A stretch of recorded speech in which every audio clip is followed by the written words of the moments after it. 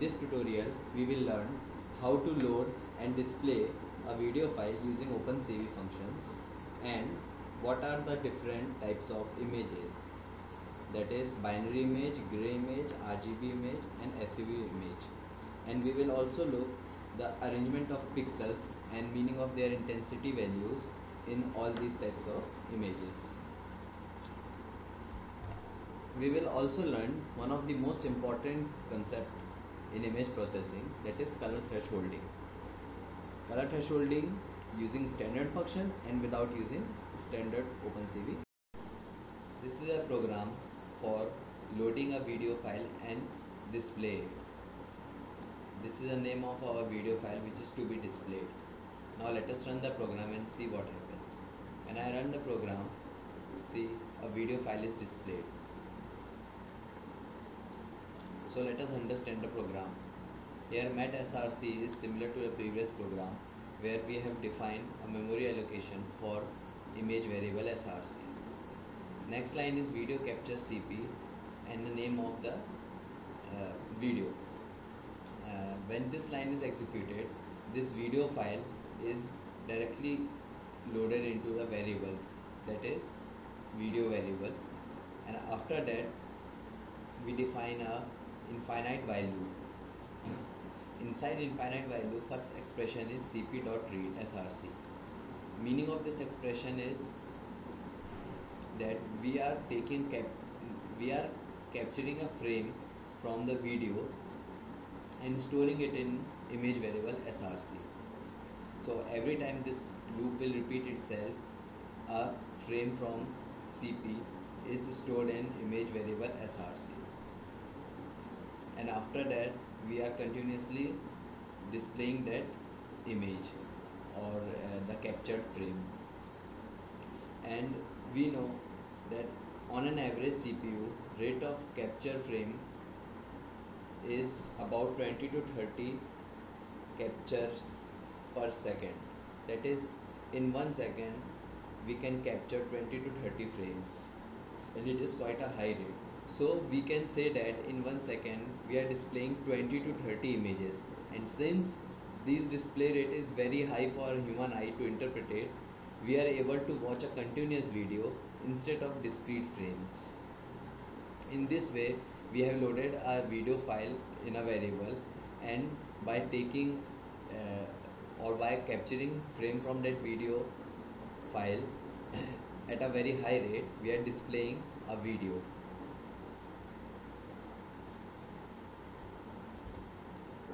Now, meaning of this line is very simple. We have assigned a value to variable key and 27 which is equal to 27. 27 is the ASCII value of button escape on your keyboard. So whenever during a program execution we press escape button at that time program will terminate and you will come out of this loop, infinite loop. After that we release the used memory space and we are done with the in this program if you want to take direct video feed or live video feed from your webcam then you can simply remove this name of the video and replace it by 0 and run the program so you can see that you get a live video feed from a webcam. Okay. So what is color thresholding it is simplest segment method. It helps in separating out regions of an image corresponding to a particular object or color which we want to analyze. Or more specific we can call it region of interest. This separation is based on a variation of intensity between the object pixels and the background pixels. So basically we have we are doing background reduction. To differentiate the pixels we are interested in from the rest, we perform a comparison of each pixel intensity value with respect to our threshold value. Threshold value contains the value of the pixels of region of interest. Threshold is range of pixel values which covers object to be separated out. Once we have separated properly the important pixels, we can set them with a determined value to identify them. We can assign them a value of 0 that is black or 255 white or any other value according to our convenience. So this is a sample image which is showing color thresholding. Here we want to uh, reduce the background and only detect this red color apple. So we have done red color thresholding and see the output. That object is marked with a white color that is assigned a value of 255 and rest of the background is given a value of 0 that is black. So the next question is what is the concept of pixel value or pixel intensity and how we can realize these values practically. This can be done with a small activity. On a display we have an HD wallpaper. When we will see this HD wallpaper we can see colors are continuous and there is no color discontinuity. We can see every color is continuous and there is no defined margin between two colors. But as we will go on zooming this image after a while we can see that image becomes discrete or we can see that image is made up of discrete small square boxes and each square boxes have different colors. So these small square boxes are called pixels and the value inside or color of the, uh, inside this pixel define its intensity or intensity of a pixel so if we want to differentiate uh, any uh, for example this flower from rest of the environment we have to estimate the smallest and the largest value of color inside these pixels. And then we can do thresholding very easily. Before playing with the pixel values and pixel intensities in an image first we have to understand the pixel arrangement in different types of images. So there are basically four types of images which we are going to deal with. First is binary image, second is gray image, third is RGB image and fourth is HSV image. binary image, in binary image pixel values can only be 0 or 1, no intermediate value can be taken. In gray image, pixel values can range from 0 to 255 that is combination of all black and white colors. In RGB image, each red, green and blue pixel matrix can take values from 0 to 255. That is, RGB image is made up of three matrices. One matrix is of red color, second is of green and third is of blue color. And in each matrix, range of pixel values are varying from 0 to 255. And fourth is HSV image we will deal with HSV image in next tutorial. So this is binary image only 0 and 1 that is only black or white. This is gray image pixel values are ranging from 0 to 255 and this is RGB image that is colorful image. First of all we are going to deal with binary image. So uh, we have a sample image. So consider this is your image.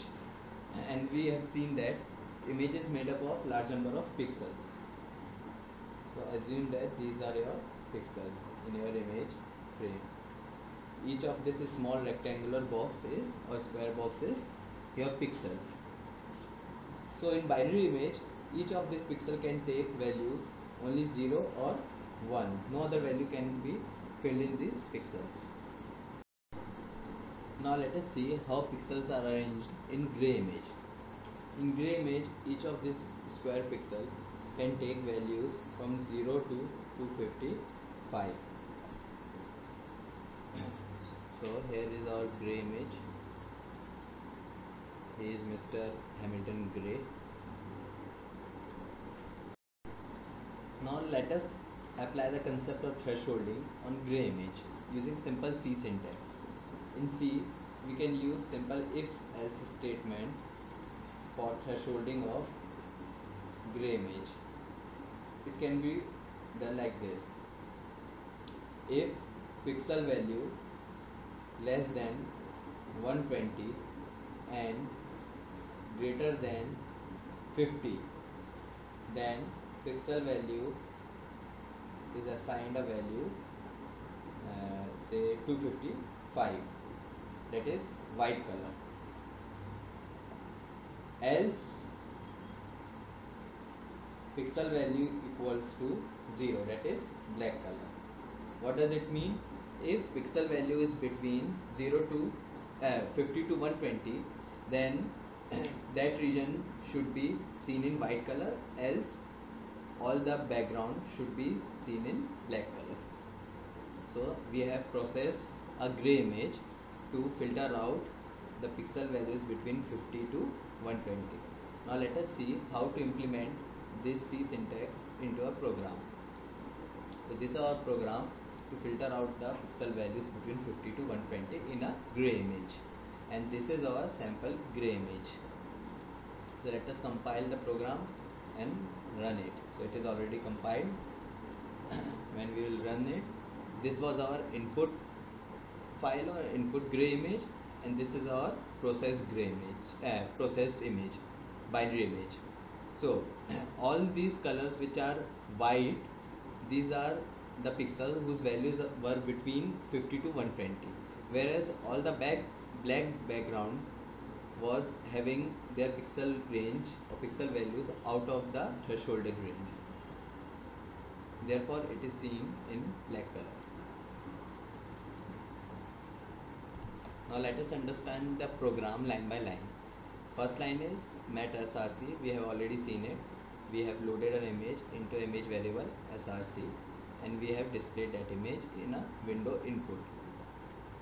Now meaning of this line is to store number of rows of that image into the variable integer variable nl so suppose you are using an image of 6 uh, 640 into 480 the number of rows will be uh, 480 and uh, 640 and that value will be stored in variable nl similarly in nc number of columns will be stored that is 680 so in this way we have nl and nc integer in which number of row and number of columns are stored indirectly nc into nl will give you total number of pixels in an image frame. Hmm. So it can seen from the diagram that this is number of columns which is stored in integer nl and this is number of rows which is stored in variable nc and nl into nc is equal to total number of pixels after storing number of rows and number of columns in integer variable nl and nc now we are using a nested loop. First loop is used for getting the address of jth row and second loop is used for accessing the address of ith column. So basically by using these two loops we are getting the exact position of the desired pixel. Meaning of this expression is very simple. When we will use these two uh, nested loops for example if j is equal to 2 and i is equal to 2 so where we are in second row and second column. So the value of pixel or intensity of pixel at that position will be stored in this variable uncharred data. That is if we are in second row and second column so we are at this position. That is at the position of this pixel. And if we will extract out the value or intensity of this pixel we can store it in our variable uncharred data and we can use it for further processing. In this way these two loop will start from the first pixel and process all the pixels and give us the desired result. So when j is equal to 0 and i is equal to 0 we start from first pixel and when j is equal to 640 and i is equal to uh, 480 we are at the last position or last pixel so when j and i is equal to 0 we are first pixel and we are applying if statement on that pixel or on uh, intensity of that pixel. And here it will check that whether that intensity lie between 50 to 120 or not. If it lies then that pixel is assigned with a new value that is 255 and it that pixel will be seen uh, as white to us. Else that pixel will become black. That is it will be removed or it will go in background. And uh, after this when this uh, loop will run second time the value of second pixel will be stored in that data variable and it will again check these conditions. And in this way all the pixel will be processed. And at the last loops will be ended or closed. And after that we will show the our show our processed image so this will be output.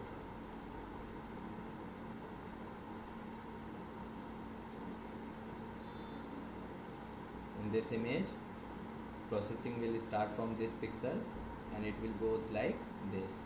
And in between whichever pixel will lie between 50 to 120 it will become white and every else pixel will be RGB image. The RGB image color model is an additive color model in which red green and blue colors are added together in various ways to produce a broad array of colors the name of model comes from the initial of three primitive primary colors red, green and blue. So basically we are using red, green and blue colors and by their various combinations we are producing other colors. We can easily realize what RGB image is by the use of this simple pictorial representation. Suppose this is our RGB image. It have many pixels so we can uh, assume that this original RGB image is made up of, of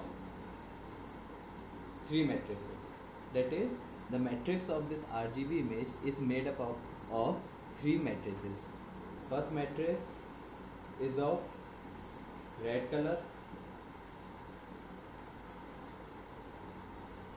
Second matrix is of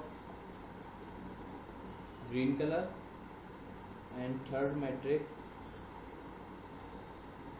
is of blue colors. Number of rows and columns are equal in each of these matrices. So uh, here red color the intensity of red color varies from 0 to 255 similarly for green color intensity varies from 0 to 255 and same for blue color 0 to 255 so uh, we can have uh, a lot number of permutation combination and we can uh, combine the values of red green and blue in different ways to produce so many colors. For example if intensity uh, if in this position that is first pixel. Intensity of red is 55 and in this position that is first pixel of green matrix intensity is 100 and in uh, matrix of blue color first pixel is 20 so by the combination of these three intensities of RGB colors we can make a unique color or a new color. In this way we have a lot of possible combinations for making a broad array of different colors. Applying the concept of color thresholding in an RGB image is a little bit complex as compared to gray image because in gray image we directly extract the value of the pixel and compare it to the values between 0 to 255 but in case of RGB image we have three different matrices. That is three different matrices of different pixel intensities. So for RGB image we have to separately compare the uh, intensity values of red green and uh, blue color with the values between 0 to 255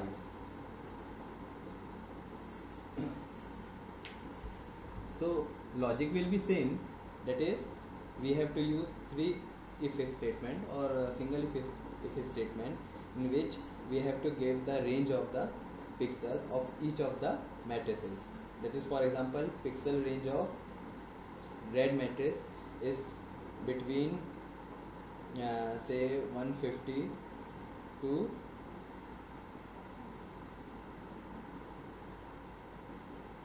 uh, 30 in similar way we have to give an if statement for green color and blue color and we will assign the desired pixels which are in this thresholded range.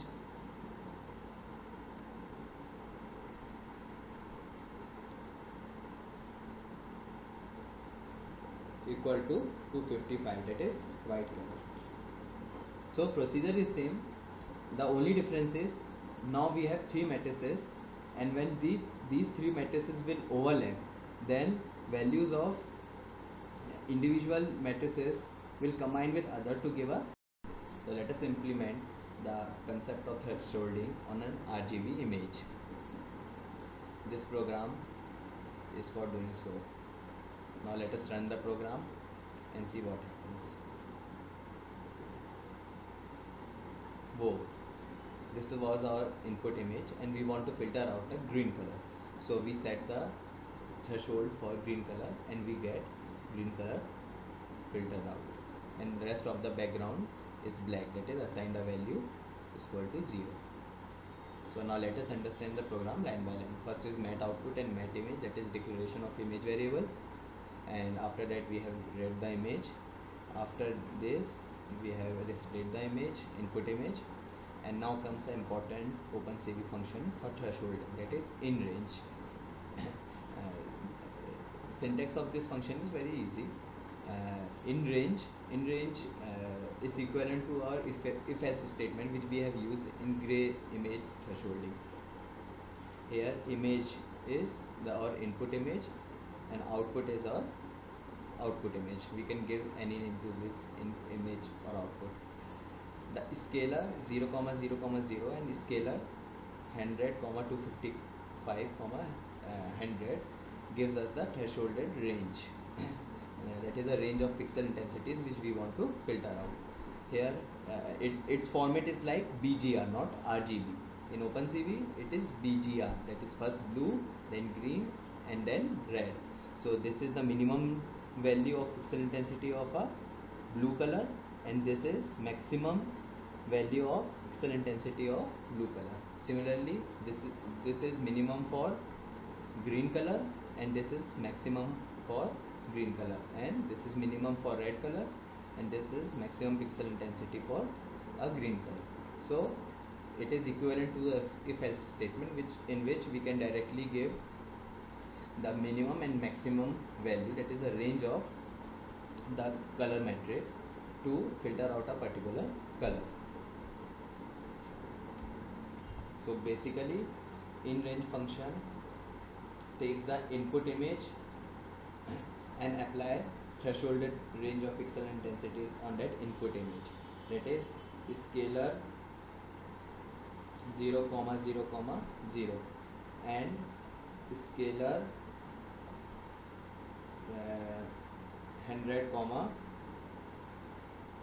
255 comma 100 meaning of these two scalar terms means Uh, pixel intensity of red color matrix will be from 0 to 100 pixel intense and, and red is at this position. Because I have told you in OpenCV it is not RGB it is B G R. So the last one is or red color. So range of red color is 0 to 100 similarly range for green color is 0 to 255 because we have to detect green color or filter out the green color. And range of blue color is 0 to 100 in this way we are uh, in a way applying if else statement to filter out our desired color just as we have do, done in gray image thresholding we can also do uh, this RGB color thresholding by using nested if else uh, nested for loops. But using this function is quite easy and make your program